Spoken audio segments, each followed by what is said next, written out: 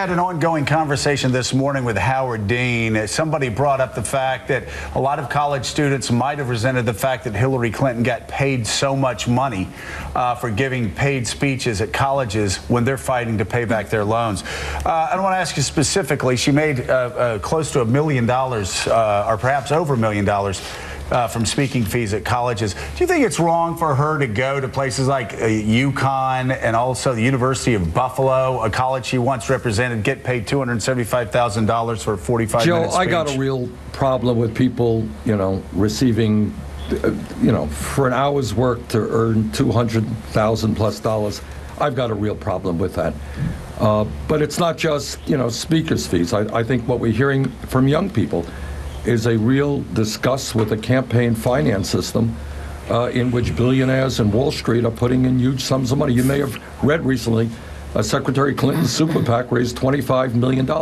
15 million of that came from Wall Street. Uh, and what we're trying to do is do it in a very different way, get small individual contributions averaging 27 bucks apiece. So I think this whole thing of money and money in politics is something the American people are deeply concerned about. So we put a number up earlier today. Nobody around the table, from Bob Woodward to Howard Dean to Cokie Roberts, had ever seen anything like it before. It was the split of the young voters in Iowa. Bernie Sanders, 84%. Hillary Clinton, 14% in the youth vote. We couldn't explain the huge disparity, historic disparity. Why do you think you did so well with young voters, and why do you think she's doing so poorly with young voters?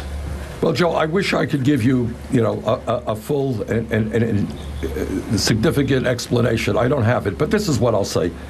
Uh, two things. Number one, by definition, young people are idealistic, uh, and they want our country to do more in many ways than we are currently doing. They, they are concerned about institutional racism.